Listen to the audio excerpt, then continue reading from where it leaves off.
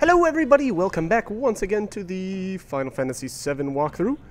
Uh, we are just about to take on the first uh, major boss, I guess, of the game. Uh, if I can remember what this guy's name is, the Guard Scorpion, apparently. And, um, alright, so we, we actually just grabbed the, uh, the first, well, I don't know if you can really consider it the first materia. The first obtainable materia? How about that? Uh, of the game. And that's the restore. We're not actually going to be able to equip that until a bit later. Um, once once the materia tutorial takes place.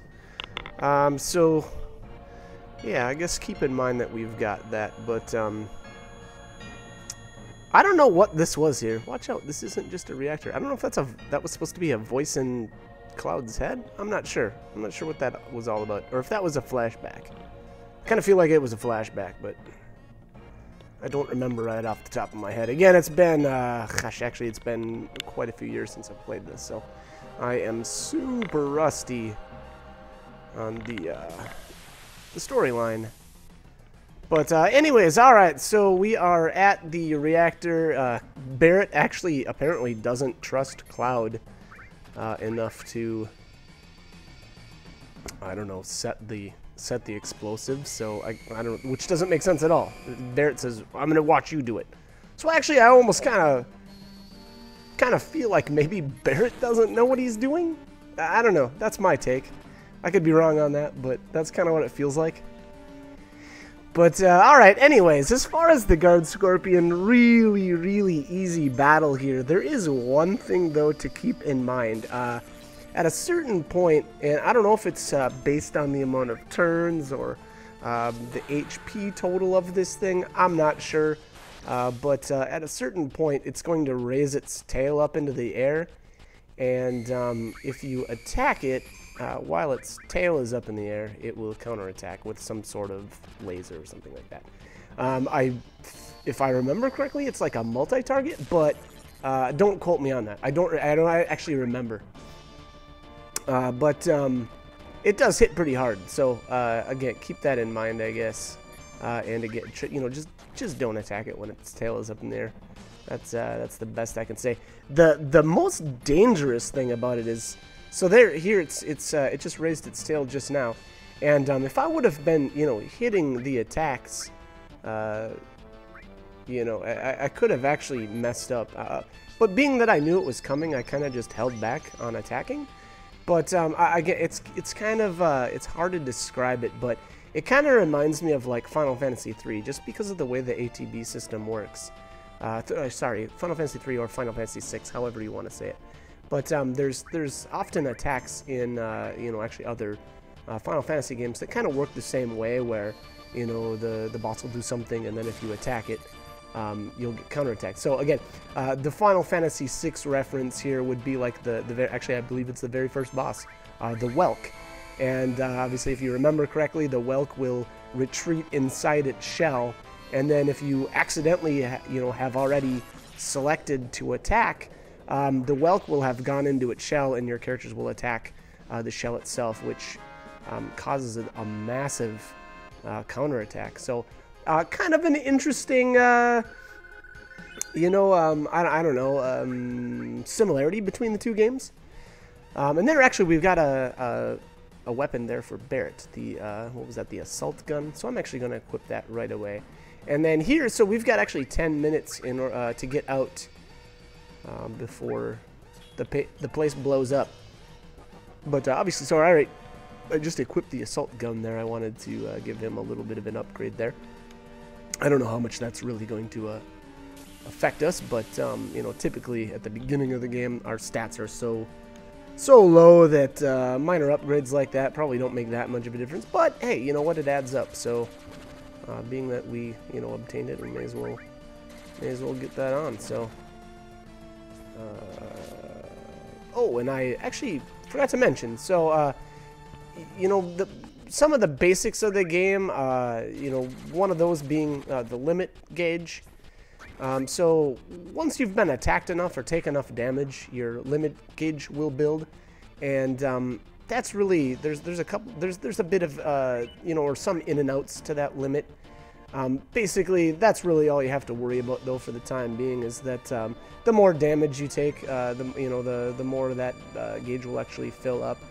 Um, and then it's interesting because uh, the way you obtain more limits, in most cases, granted, not all cases, but um, in most cases, uh, the more enemies you kill, uh, that will unlock uh, higher tiers of limit breaks. Um, but, uh, so that's one way to obtain limits. Um, another way is actually to use the limits. And then a third way is actually through items. Um, you know, and again, that that's in that's in most cases, and that applies to most characters. Not all though. Um, but uh, so actually here, Cloud actually has the Braver limit, and Barret has what was that Big Shot, I believe. And um, in order to get your uh, second limit break for tier, I'm going to call it tier 1, uh, you have to use that limit, I believe it's 8 times.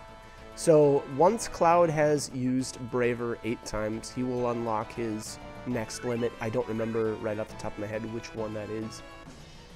Um, and, you know, and then, then he'll get his, his second one. Now, uh, in order, though, to get his, his first uh, tier 2 limit break, that's completely based on how many enemies you uh, defeat. And uh, what I mean by that, you actually have to land the killing blow uh, in order to uh, unlock those. Now, uh, for, the, for those to count. Um, here, Jessie, uh, her leg was stuck, and you actually have to get her leg unstuck. Otherwise, you cannot you cannot leave. So make sure you interact with her before you make your way out of here. Uh, but again, you know, maybe I'll do a little um, breakdown, I suppose, on limits. Maybe a little guide.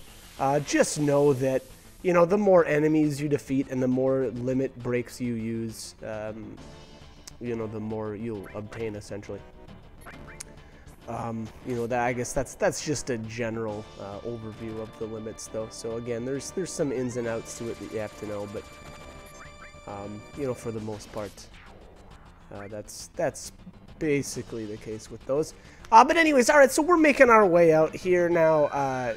You know, I don't know. I, I, I didn't really use any magic. I, I probably could have uh, sped sped my escape up a little bit uh, by using, you know, a little bit of magic, but uh, I don't know. I just didn't feel like I really needed to, so I just used physical attacks all the way out, or I should say basic attacks.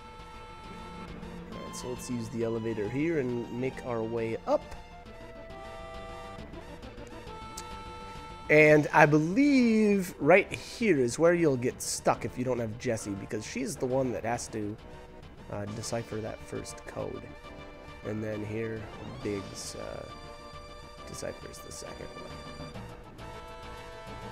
Alright, let's get on out here. Um, to be honest, they they give you plenty of time. I mean, even if you forget uh, to you know to get Jessie or to to get her leg unstuck, I, I think you have plenty of time to you know backtrack and um, and help her out. But uh, all right, boom, one, two. I was trying to count how many reactors there was there. I believe it's eight, but I didn't. Uh, actually, wasn't able to count fast enough. Should keep the planet going at least a little bit longer. All right, so mission accomplished. Alright, now apparently I think this is where we have to make our way back to to base. And I don't... What's with the extra explosion there? That's kind of weird.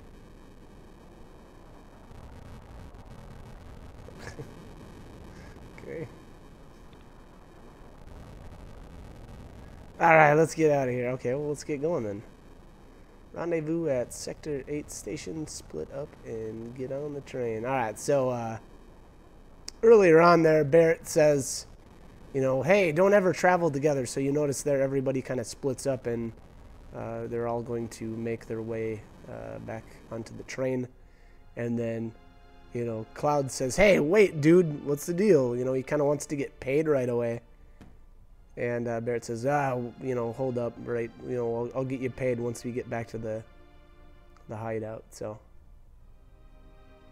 All right, so here, um, I, I don't know if this uh, conversation matters a whole lot, but this is Aeris. Um, I always I pick those dialogue options in, in order to get to the whole uh, you know, buying buying the flower. Um, and at this point, I guess I would say this is a, good time to bring up the fact that there's a there's kind of like a little mini game uh, with with some of the characters. Uh, and what I mean by that is um, basically I, think it's commonly referred to as the love point game, and um, you get you know love points based on your responses to some of the different characters. Now. Uh, for instance, there with Aeris, uh, I, I, believe you get one love point by uh, buying a flower from her. And, um, you know, I don't know. To be to be honest, it, well, it really only matters. I would say uh, for one thing, there's a there's kind of a date scene later on in the game, and um, depending on how many love points you have, that will determine uh, how that that uh, that little, I don't know if you'd say mini scene or the, the series of events, I guess, uh, plays out. So, um, you know, there's there's actually some really good guides out there on, uh, you know, the, I, I would say the ins and outs of the Love Point game. I will try uh, my best to point out, uh, you know, instances where you can get points. But um, I'll be honest, I uh, I don't really uh, have that great of a grasp on how it all works. So um, here, um, actually, so we get or Cloud gets attacked by a bunch of these uh, these soldiers or MPs or whatever these guys are called, and um, you can actually fight every group of them. Uh, I fought the first one, but uh, to be honest, it's kind of a waste of time. So I just uh, basically avoided the rest of them, and then they're Cloud jumps on the train. Uh, for whatever reason, that reminds me of uh, Archer. There's a there's there's other Archer fans out there, I hope, but that uh, that animated series is amazing. But uh, anyways, um, all right. So uh, the the the other four members of Avalanche here obviously made it. I should say, the four members of Avalanche. Uh, Cloud isn't necessarily a member. Uh, he's more of obviously a, a mercenary.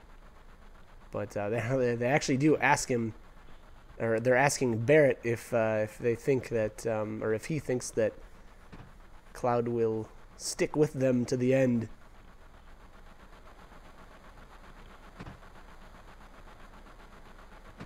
So uh, yeah, I don't know. Anyways, I, would say that uh, Cloud, obviously, uh, being that it was a pretty uh, pretty successful mission there.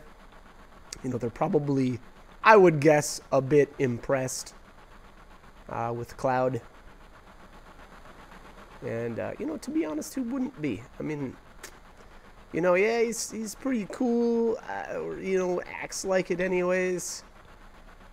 And, uh, you know, I don't know, pretty, pretty, I don't know, cold at times maybe, but uh, you know, the, the good thing with Cloud is he's definitely dependable. Great back there. Yeah, so obviously they were the rest of these Avalanche members were pretty pretty impressed. Um, to be honest though, I mean, the rest of the the Avalanche members there were the real ones that made that job a success. I mean, Jessie and Biggs for one thing, opening up the uh, uh, the the passcodes on the doors, and um, I, I, well I don't know if I'd say that's maybe not fair to say uh, to Barret or with Barret, he didn't really do much, and in all honesty he may have uh, he may have not really been uh, or he may have actually been the least knowledgeable uh, of everybody there for that um, that the mission. But that being said, he did you know, kind of, uh, I, don't know, oversee the whole works. So I guess there's something to be said to that. Somebody's got to give the orders, right? But uh, I like this. It looks like a, a guy in a suit. He's like complaining about uh, how he hates the last train. I assume that was some sort of uh, class based uh, I don't know not not necessarily insult but I'm sure he, he's not wild about uh, having to ride the train with uh, um, I don't know these guys look maybe like lower class citizens. I don't know. That's my take anyway. Shut up. Alright, so I think in order to progress here, you actually have to speak with Jessie. Uh, I'm not actually sure if you need to talk to the other uh, members of Avalanche here, but um, you have to uh, definitely have to speak with Jessie, and then we'll have to speak with uh, Barret after. Uh, I actually did speak with Wedge here twice in a row. I, I like that. I like his dialogue there. He's like, I, felt like, or I feel like all of my life I've only been a sidekick, which is kind of funny. If you've played the other, obviously Biggs and Wedge, uh, you know, going off of again the Final Fantasy 3 or Final Fantasy 6, however you want to look at it. Um, I always I always uh, I always think of Final Fantasy 3 because the first time I ever played it was on the Super Nintendo. So, so I often refer to uh, six as three. But anyways, um, you know, obviously uh, Biggs and Wedge there at the very beginning of the game with Terra are essentially sidekicks, kind of, you know, kind of sorta. But uh, it is funny that he uh, makes that that comment here in uh, in seven. But uh, all right, so. Um, it's interesting here. Jessie is uh, actually talking about how Midgar is set up and how um, basically there's different sectors. And she actually says that they used to be towns and that people just forgot their names. So I look at this as you know kind of a you know a city that's grown um, and unfortunately you know has uh, become I, I, would almost say so technologically advanced that um, it's actually become a bit of a danger obviously to the planet. Uh, so, uh, I can't remember here where the, uh, and maybe I already missed it, but um, there's a there's a bit of a, a, conversation. It actually might be the the one coming up here with Barret, but Barret does comment on how, um, you know, people people live up on the plate. Uh, you know that that's that's where the I, I would almost call them the rich people live. They they live up above um, and then the poor people typically live uh, down on the ground and um, you know again he'll, he'll comment on that i believe that's this conversation coming up here but uh, jessie also does mention there that there's a security scan and uh, i do like how she says you never know what kind of creeps come out during the uh, or when the lights turn off which that does sound super creepy but uh, yeah, here's the conversation, if I remember correctly. The upper world, city on a plate. Yeah. So that whatever pizza that people underneath are suffering. The city below is full of polluted air. Okay, yeah, so not a real great place to live. And on top of that, the reactor keeps draining all of the energy. So Cloud asks, well, why don't people just move up to the uh, top of the plate? And uh, there, obviously, Barret says either they don't have money or, you know, people just love uh, the the soil or the their land, he says. And then there cloud does say, well, yeah, I guess nobody chooses to be poor. So, kind of interesting insight as to Midgar, how it all works, and, um, you know, kind of how, how it's all set up. So, pretty interesting stuff. Uh, I'm coming up on the end of this commentary, though. We're going to uh, have a, a short little discussion here with uh, with Barretton. I think he basically just yells at everybody and tells them to go back to the hideout. But uh, I'll I will make my save, and uh, we will continue on with the commentary in the uh, the next video. So uh, as always, I hope this guide was helpful, and I hope you join me for more videos. Thanks for watching.